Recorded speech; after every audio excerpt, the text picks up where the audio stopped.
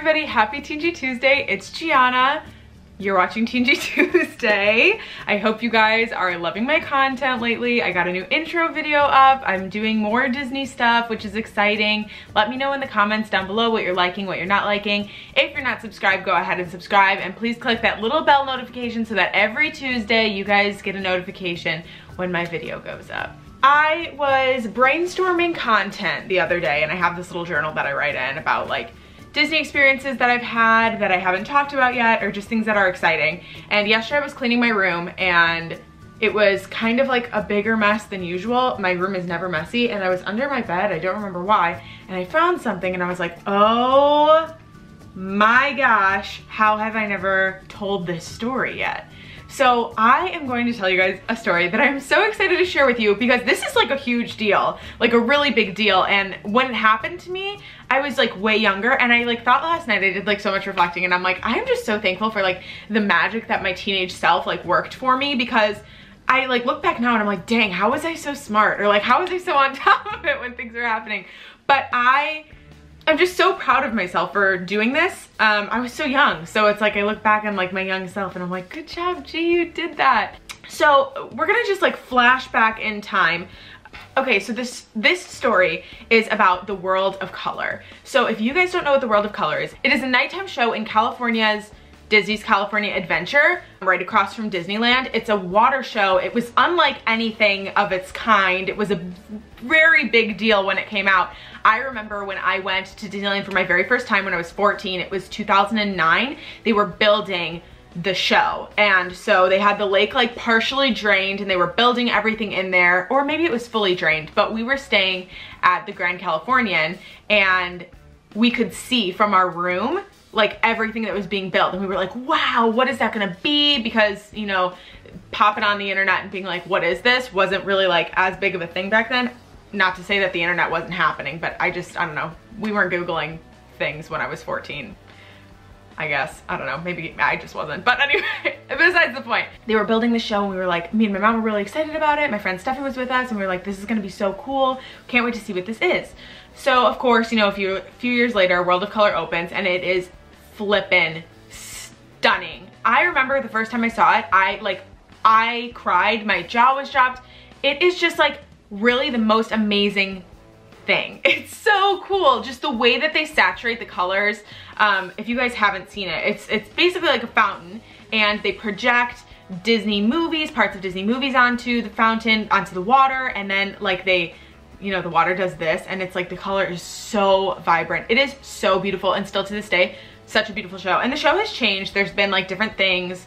For the 60th, they had one that was like very Walt heavy, but the show is just, it's so, so good. So anyway, when I was a freshman in college. It was 2013 and I was a fresh freshman, like first semester freshman. I applied for the Disney College program because I was like, I need to get into the Disney College program. You know, it was my dream forever. That was the, what I wanted to do right away. It's basically 95% of the reason I went to college because I was like dead set on not going to school at all. And then I found out that I could do the Disney College program if I went to college. So I was like, okay, community college, hi, I'm coming over because I'm gonna go to the Disney College program. And literally like the first or second day of school, I had a meeting with whoever the lady was who like could help me with the college program and I was like ah, I'm totally gonna get in Disney's my life needless to say I didn't get into the college program my first semester my first like three or four times I didn't get into the college program but you know I got in eventually so it's fine but I had just applied for the college program and I was awaiting the next step, so the web-based interview. And so literally every single like second I was in class, I was on my phone checking, refreshing, refreshing, refreshing. And then like on my computer in class, always just like researching Disney stuff, anything I could find.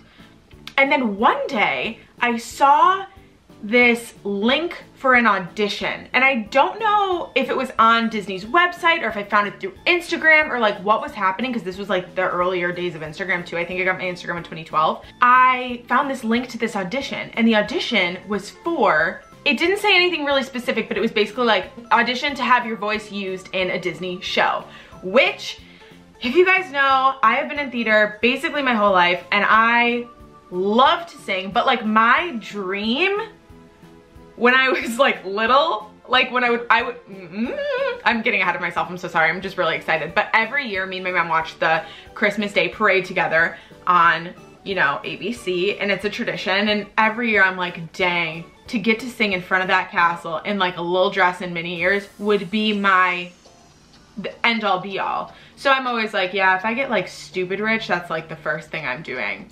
If I even get mildly rich, it's the first thing I'm doing. Yeah, I'm gonna do that one day. It's gonna happen still. It's still a dream. It'll still happen. It's fine, right? So I've just like always thought it would be so cool. I grew up like loving Wishes. I had the disc. I would like play it in my stereo every night. Like the fireworks track. I knew every word to all the songs. Like I just, you know, when you love Disney, you love Disney. And who wouldn't want an opportunity to be in a Disney show? And I didn't know really anything about it. So I'm reading this audition um, like listing and it's like, you need to sing this song here. So I was like, okay. They were like, these are the guidelines. You need to send an, an audition tape of you singing the song with a black background and you need to be wearing like X, Y, and Z colored shirts and um, it needs to be in by like this day. And I was like, oh my gosh, I need to do this. And I think I filmed it on my laptop, which is so horrifying because I could only imagine what the audio sounded like yeah, so I set up my laptop in my room that day. I made my mom go out to Walmart and buy black sheets and I hung them behind my head and I was like, mm, you know, just like being the drama, warming up. And I was like, oh. I, I think I made an appointment with my vocal coach to like teach me the song. But the song was a Christmas song and the song was like, mm, mm. okay. You guys will hear the song, so don't worry. but, um, I send in my audition tape and like I said, I'm in class every day, like like looking, looking, looking, looking, looking to see if I get anything from Disney College Program. And I'm sitting in class and I'm like refreshing, refreshing, refreshing. And this is like a week after I sent my audition. Refreshing, refreshing, refreshing. And I get a freaking email. and it says like, Disney World of Color. I have the email, I'm gonna pull it up, but I just wanna tell you my reaction. I literally jumped out of my seat like in the middle of, I don't know, whatever, American history, like popped out of my seat and I was like, oh my gosh. And I ran out of the room. And I called my mom and I was like, oh my God. Oh, and I hadn't even read the email yet. Like I had not even read it. So I'm gonna read it right now, like what it says. And to this day, I, I am like very, very good at like archiving, doing my whole email. This, these emails are still, it's if I scroll all the way down to my email, it's the first email in my inbox. Okay, so the first email says World of Color Honor Choir. So the audition was for an honor choir um, and it was composed by a Grammy winning composer and conductor, Eric Whitacre. So the email reads, and this is from Eric Whitacre, this email. Thank you so much for your patience as you have waited for the release of the World of Color Honor Choir performance list. Having watched and listened through the submissions, I can tell you that every single singer who took part did a fabulous job and I thank you all. Writing Glow, which is the song he wrote for the show, for Disney and agreeing to host an honor choir was something of a dream come true for me having grown up with Disney and the theme parks in my blood. Thank you for joining me in this unique choral experience. For those who made it into the show, the World of Color Honor Choir, congratulations. The list is now published on this site. This collaboration with Disney was both a huge honor for us and all something of an experiment. I can't wait to see it live in California and hope that some of you will be able to make it too. And then it goes on and it said that there are ideas for the next choral project, but I don't think there ever was one. So anyway, there's a link to everybody who made it. So I click the link and I'm scrolling through it. It's like not no longer there anymore. And I'm like scrolling through to try and see my last name. And I'm like, oh my gosh, oh my gosh, oh my gosh, P, P, P, P. And it was there. And I was like, oh my. Oh my God, we need to go to Disneyland. So I called my mom and I was like, mom, book our flights. We're going to Disneyland. And she was like, why? And I was like, I'm gonna be in World of Color. I, that like still like, I can't even believe that gives me chills. So of course we booked our flights to Disneyland for December. It was me, my mom, and my friend Sam. We actually went to go see the show twice and it was amazing because it was like a winter themed show. But the song Glow played in the beginning and over the three panels of water, there were snowflakes coming down with the videos that we sent in. So it's like my face singing this song. I was like shocked. I couldn't believe it. I was so thankful, so happy that I got chosen, that I got to go because like what a flippin' heartbreak if I would have gotten into the show and I wouldn't have been able to go see it. So shout out to you mom. Thank you for making my dreams come true. This was truly like one of the coolest things ever. We were in a Facebook group with the other people from the World of Glow Honor Choir and we were gonna make t-shirts and wear them, but I don't think we ever did. They emailed us again and said, hey gang, this was again in 2013, we've been presented with the most beautiful holiday present from Disney, the final World of Color Honor Choir film from the Winter Dream show in video format. You look and sound sensational, but like the link doesn't work anymore. But I think that the song is still on SoundCloud. If I can find it, I'm gonna link it down below. It's, it is a choir, so like you can't hear me specifically because I think there are like 300 people in it, but still, I'm in it. So I can officially say that I sang with my own voice in a show on Disney property. How cool is that? So then they send us these little, little pieces of paper and I framed mine and it was hanging in my room until I moved downstairs. But it says World of Color, it has dust on it. This is what I found under my bed.